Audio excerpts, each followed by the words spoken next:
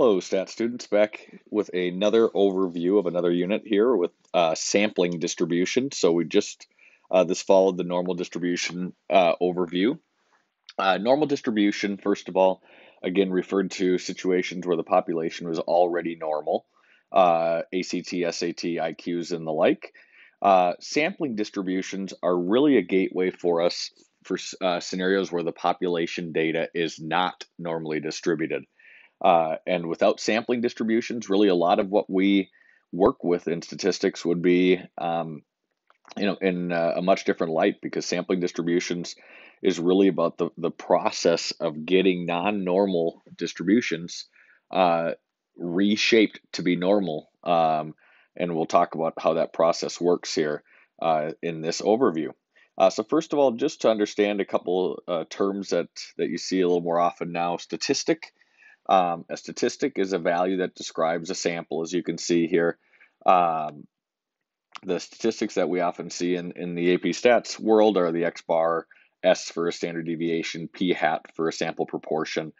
Um, and then the corresponding parameters, which is the population measurement. Uh, so, for instance, the X bar is a sample mean, mu is the population mean, S is a sample standard deviation, sigma is a population standard deviation, uh, and p hat is a sample proportion, whereas p is the population proportion. Again, these are all statistics. These are all parameters here.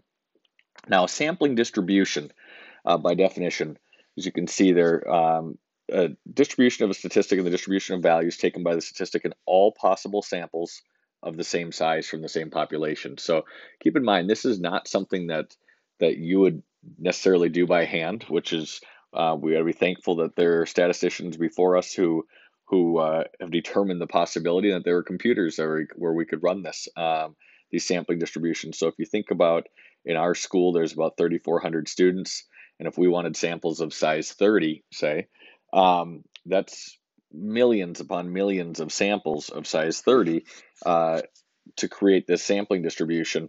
And uh, so again, we wouldn't create that, but what we can do is understand the statistics behind it, um, at least to a degree of understanding what we're accomplishing if we took a bunch of samples. So again, all possible samples, same size, same population here, um, and the distribution of all of those. Uh, so what what we would do then um, to create a sampling distribution is you take this large number of samples from the same population, um, you calculate the p hat and the x bar. So for instance let's say that uh, I assigned my students the task of going around and asking 30 randomly selected students how tall they are. And then I asked my students to come back with the uh, the mean height of those 30 students who they asked uh, and report that back to me and then we'll we'll create a histogram from that. So for instance, first student might come back and say the, the mean height of my 30 students rounded to 68 inches. The next student comes back and says mine was 67, another 68, then a 69, um, another 68. There maybe was even a 66 in there, maybe a 70 in there. Um, and then another student came back with a 69, another student came back with a 67, and so on. And what happens here is what we're graphing now is not individual heights, but we're graphing a bunch of X bars. Okay, and these X bars, again, it, there's not necessarily 30 unique students in each one of these because all possible samples means that students would be in a number of samples and could be with a number of um, you know different collections of students in their samples so there might be overlap um, one particular student might be in three of these samples that I've that I've shown here of the nine I think that I've included here um, it doesn't matter because they're all randomly sampled and they're all of the same size I said 30 in this case from the same population, which in this case was the 3,400 students in our school, and and we just graph these x bars. Now, what you'll notice here is the shape that I've started to build with these x bars. Okay, um, and you can see that this is looking symmetric and it's looking normal. Of course, I did that intentionally here, but that is what happens in the long run. Um, whether it's X bars or P hats that we're including, and it doesn't really matter what the original distribution looked like. Okay, this could have been heights in our building. Um, perhaps they are a little skewed left if our younger students ha- are not fully grown um, height wise yet, and so there might be some of that. But but what happens here is we we reach a point where we are uh, um, we have the background to know that we can get to a normally distributed sampling distribution, and we'll get to that in a moment. A couple other items to note with a sampling distribution. First of all, biased versus unbiased. Uh, essentially, what this is referring to is the idea of are we taking a random sample um, to ensure that our sampling distribution is unbiased? And what that really means is that the mu of our x bars, or the mean of our sample means, should equal the population mean. Um, so if I were to take all of my x bars here and put them into a list of 66, 67, 67, 68, 68, 68, 69, 69, and 70. If I were to put those into a list, the average of my samples, and again, this is the mu suggests every sample, all possible samples as we saw up top, um, has to be the same as the population mean. Okay, that is the notion of being unbiased. Okay, similarly, mu of the p hats is equal to p, and you'll see these on your formula sheet that uh, that the idea of unbiased as shown in the sampling distribution section, and that is just again that the mean of all your samples are going to equal your population mean. Uh, secondly, variability. Variability has to do with the spread, and the spread is dependent on the sample size.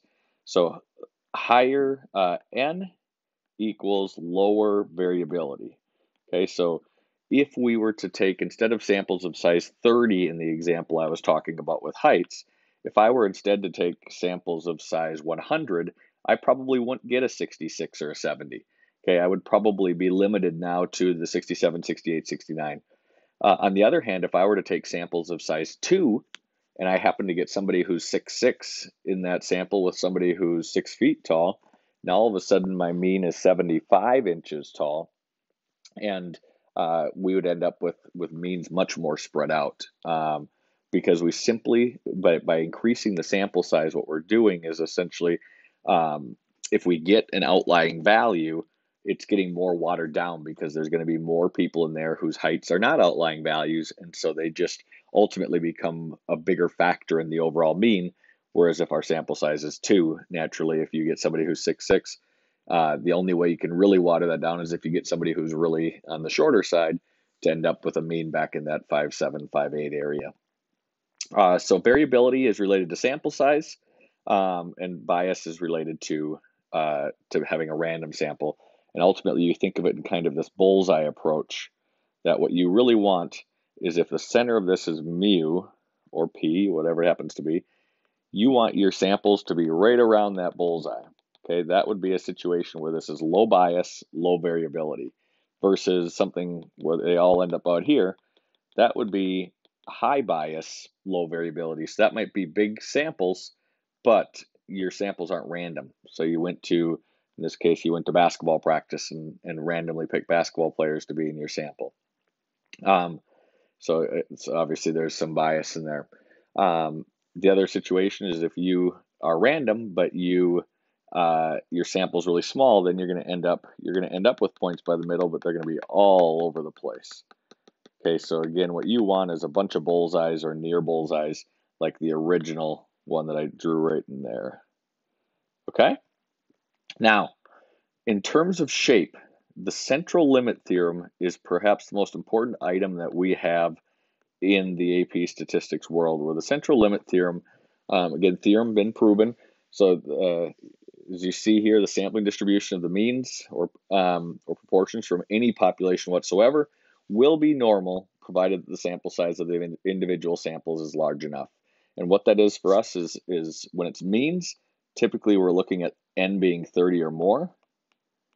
Okay, when it's proportions, we're looking at n times p and n times 1 minus p, which means the number of successes um, and the number of fails would be 10 or more. And what happens then is you can see this progression down here this progression of showing four different distributions, one that's normal, and you can see it's normal with higher variability. And then as the sample size gets bigger, it's still normal, but the variability has gone down.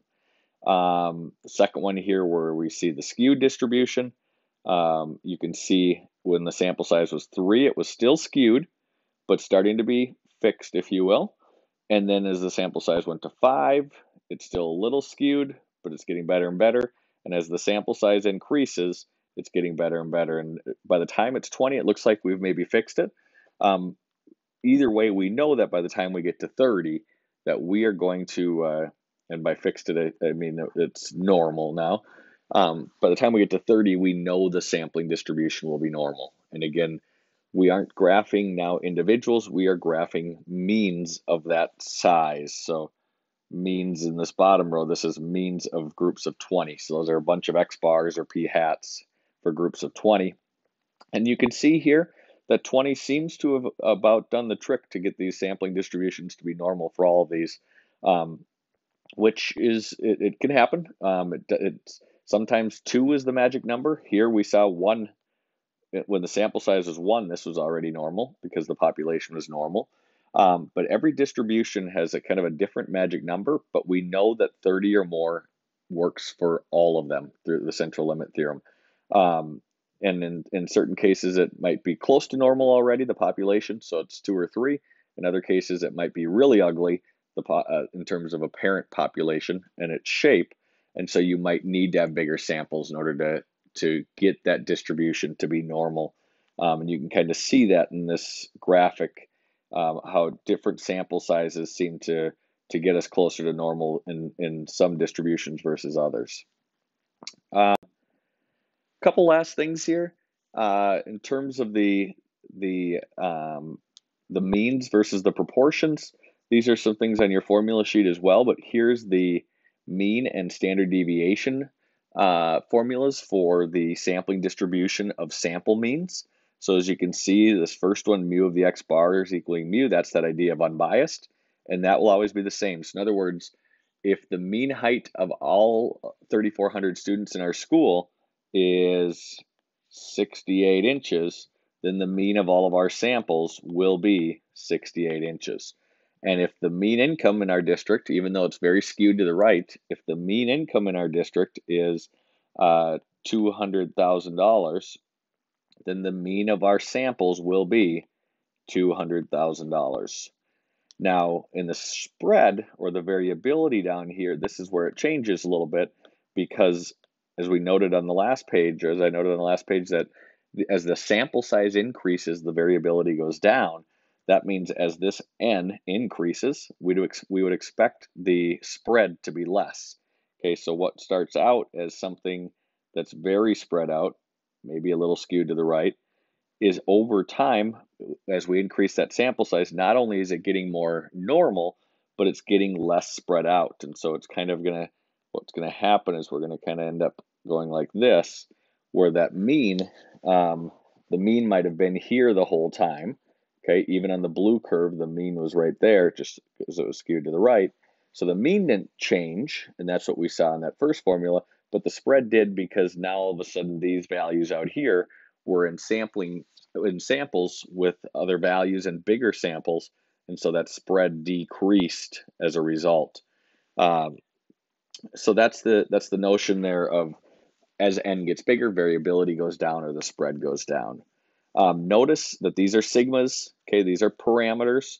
Um, this would there'd have to be something given to you in a question to get that sigma for you. Okay, again, if you get a list of numbers, you are finding s. You are not finding sigma.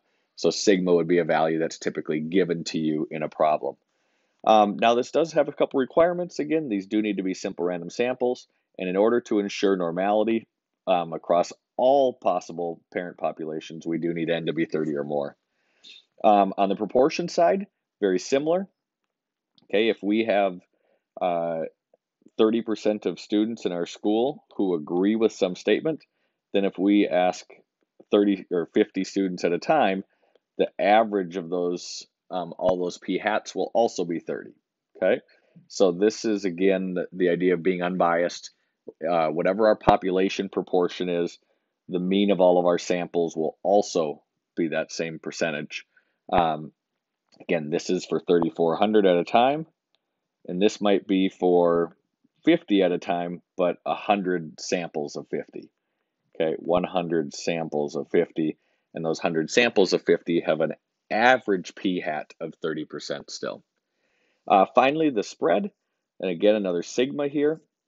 So in this case, you would have to be given in a question like a P and an N, and then you would be finding the sigma, or you could be given the sigma of the P hats, and you'd be finding the N or some other um, element of, of the algebra there. Um, but this would be the spread, and again, these are on your formula sheet.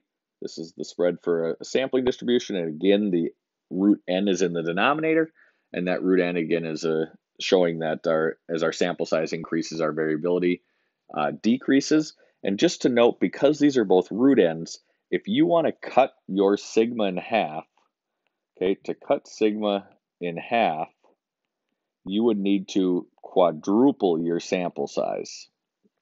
Okay, and that's because that n is in a uh, is a denominator under a radical. So, um, so just a heads up on that. That if I wanted to, if my spread um, was, or if my margin of error, I shouldn't say margin of error, just if our if our standard deviation was five percent, and I wanted to cut it to two and a half percent, then I'd have to quadruple our sample size.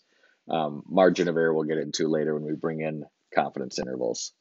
Uh, finally, the requirements for this. We do need simple random samples, and we do need the n times p and n times 1 minus p to be 10 or more. And finally, one last note about how sampling distributions show up on the AP exam. Um, very commonly, what will happen is you'll be given information. Um, like, for instance, on the mean side, you'd probably be given a mu and a sigma. On the proportion side, you'd be given a p and an n, um, and an n on the mean as well. Uh, and the Part A would be describe the sampling distribution. And when it asks you to describe the sampling distribution, what it's really asking for is center, spread, and shape. Okay. And center and spread would be your mu and your sigma. Okay, so that would just be using the proper notation, and that's why it's on the formula sheet. Make sure you use the proper notation here, whether it's means or proportions, and you would fill in the values. Um, again, you'd copy that, you would write mu of the x bars or mu of the p hats, and then you'd put the values in sigma of the x bars, sigma of the p hats, you put the values in. That would be your center and spread res- respectively. And then provided that n is 30 or more, if it's a mean, or that n times p and n times 1 minus p are 10 or more if it's a proportion, then you could say it's approximately normal, which in most cases it will be. They'll, they'll make sure to follow those rules. And part of the reason they want to make sure that we get it to be normal is a fo- common follow up question would be an actual probability question regarding the sampling distribution. For instance, uh, what's the probability that in a sample of 30 students, their average height is greater than 68 inches? And so then you would get into a z score where it's x bar minus mu divided by sigma over root n. Okay, again, if you recall last on the normal distribution, it was simply x minus mu divided by sigma, and that's because n was 1. Okay, so really this was kind of a root 1 there, and we didn't need an x bar because it wasn't an average, it was just a single value.